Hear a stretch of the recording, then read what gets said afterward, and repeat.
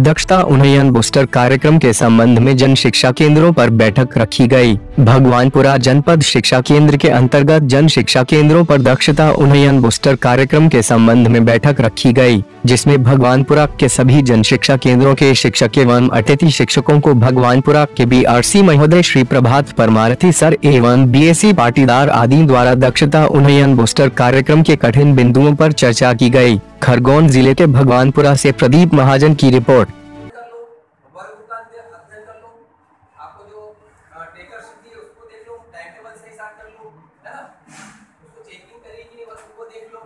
गंदगी तो नहीं है, वहाँ ये चीज़ देख लो।